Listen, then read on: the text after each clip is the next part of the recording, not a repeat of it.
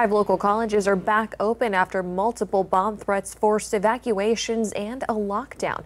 Norfolk State University, Tidewater Community College, and Regent University all received threats for bombs. And late this afternoon, we learned that there were also threats at Virginia Peninsula Community College, formerly Thomas Nelson Community College, and at Paul D. Camp Community College in Franklin.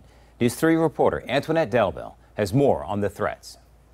We are working to get information on if any of the threats are connected, but many people I spoke with are relieved that no bombs were found at any of the campuses.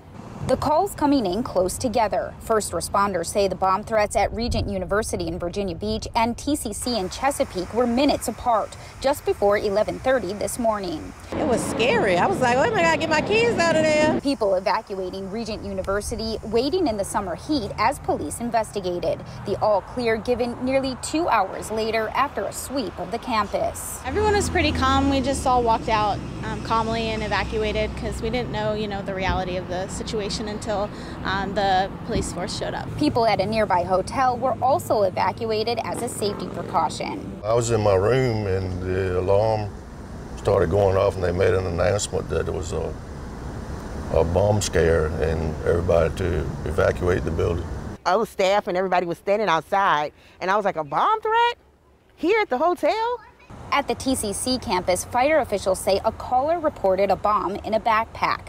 After a thorough search, nothing was found. Over at NSU, bomb sniffing dogs were brought in on the campus after a threat was made regarding a bomb in the university's administration building. Students and staff put on lockdown. That search from police also coming up empty.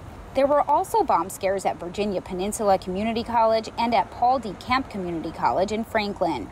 Many folks thankful no one was in any real danger. Just be alert at all times. NSU is providing counseling services for students and staff affected by the incident there.